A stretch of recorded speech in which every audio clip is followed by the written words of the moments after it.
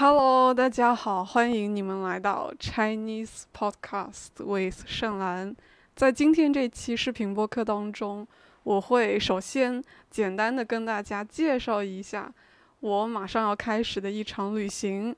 另外呢，最重要、最主要的一个部分，在今天这个视频当中，我会跟大家分享，在这个旅行当中，我会带一些什么样的行李。所以，呃，简单来说，今天这个是一期行李打包的视频。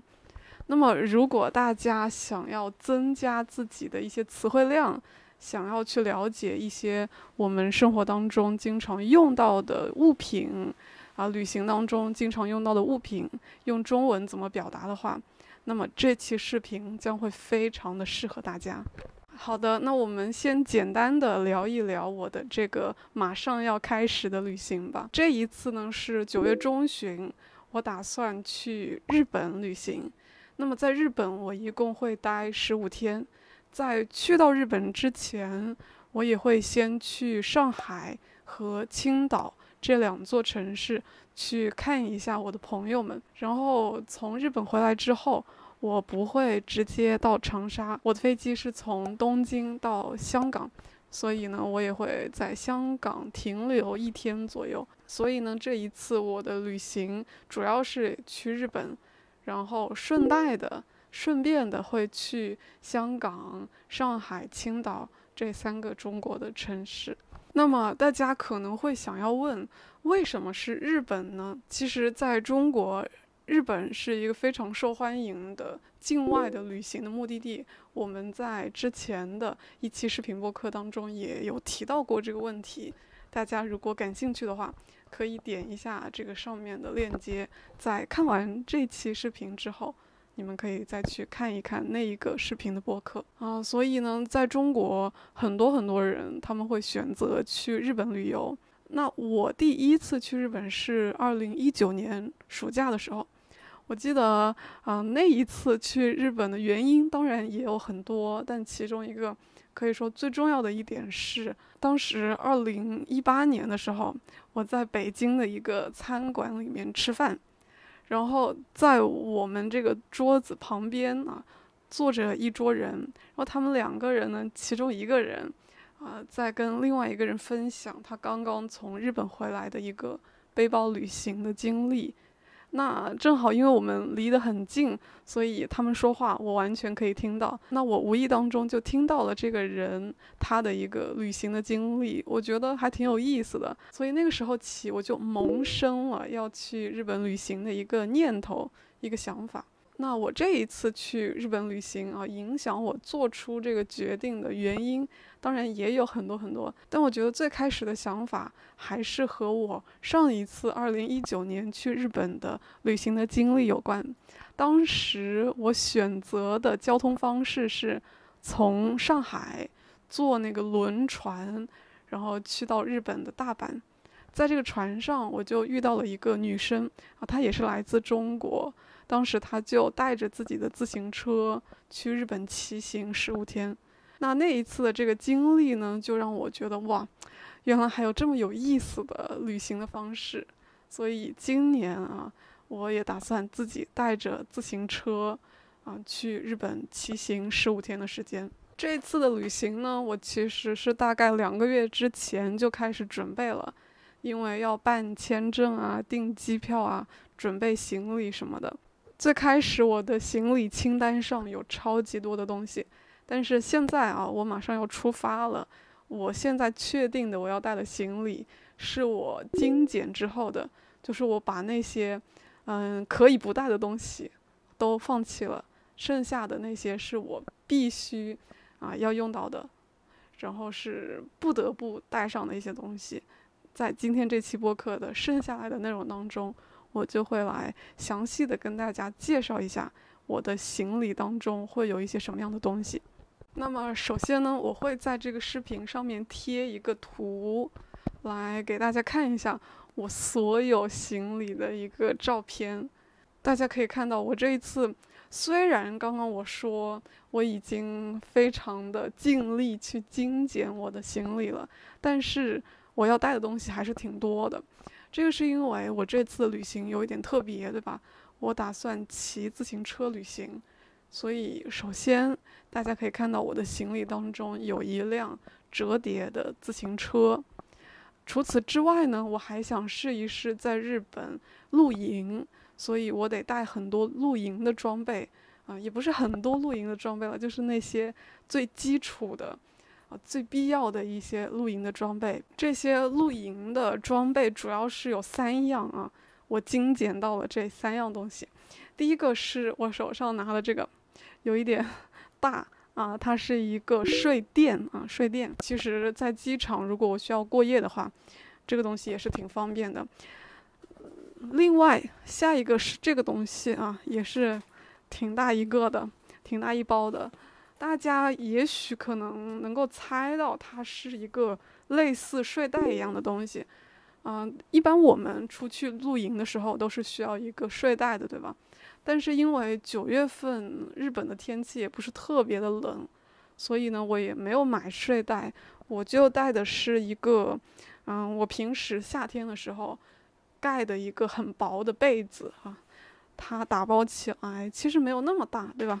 就其实和睡袋的大小差不多。好的，那么接下来要给大家介绍的是我手上这一包，嗯，主要是衣物啊，一般是衣服之类的一些东西，啊，这个里面呢有一双拖鞋，拖鞋。那这一次去旅行的话，我除了脚上穿的一双徒步的鞋之外，我不会再带任何其他的这种很大一双的鞋了。嗯，但我觉得拖鞋还是挺必要的，尤其是比如说下雨的时候，或者嗯晚上的时候，对吧？洗澡的时候，这个拖鞋还是挺重要的。然后呢，这个里面还有一些是像这个，这个折的非常小的，它其实是一个毛巾，一个吸水的毛巾。比如说你洗脸，然后洗澡的时候，嗯，擦头发都可以用这个毛巾。啊，除此之外，嗯，这个也是专门为那种露营、徒步什么准备的。它非常非常小，但是它可以打开，嗯，变成一个枕头啊，吹气的枕头。这个是晚上露营睡觉的时候，或者说如果要在机场过夜的话，这个非常好。除此之外呢，啊，这个哦也是一个枕头，但是它是一个。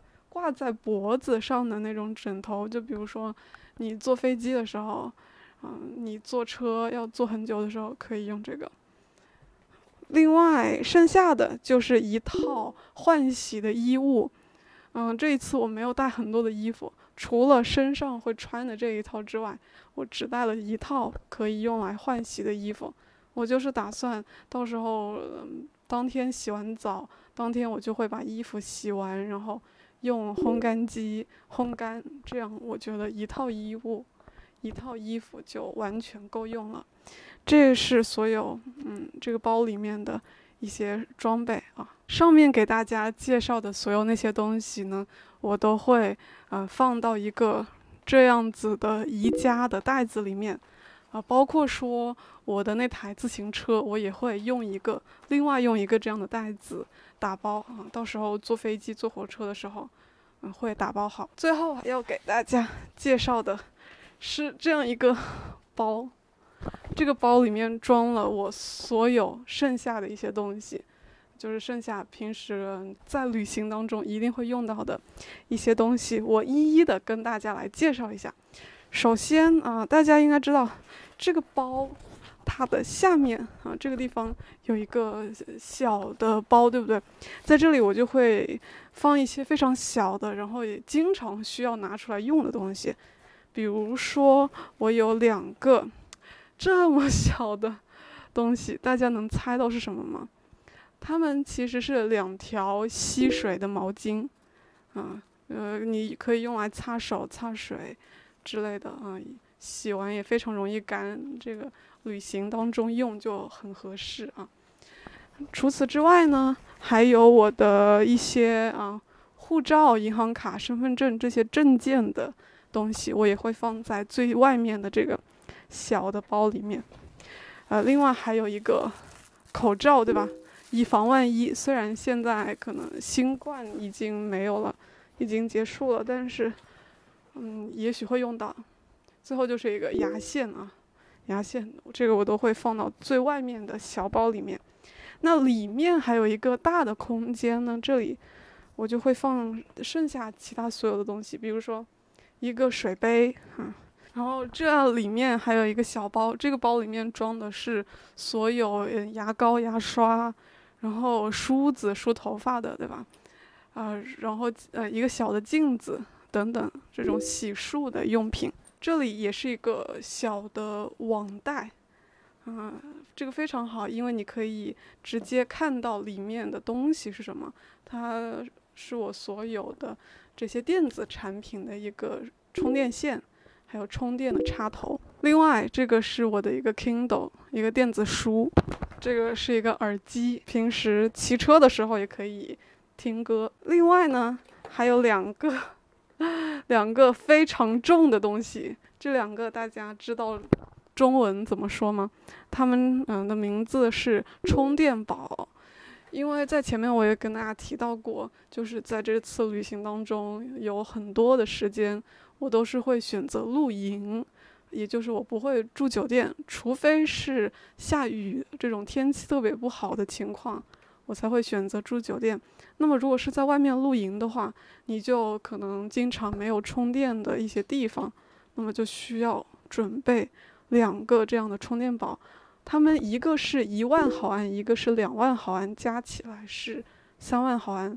我觉得应该充满的话，一次可以用几天。最后的东西啊，还有一个，这个是我的一个相机，一个运动相机，加上这个。运动相机的挂脖，就是如果我把这个相机挂在这里，然后把这个东西挂在脖子上，我就可以拍一些第一人称视角的视频。最后的最后，还有两样东西可能没有跟大家介绍，一个是我手上的这个话筒，另外一个就是我的电脑。嗯，还是会带上这个电脑的。好，那么以上呢，就是我在这一次的旅行当中所有会用到的、会带上的物品。希望啊，这期视频对于大家来说是比较有意思的。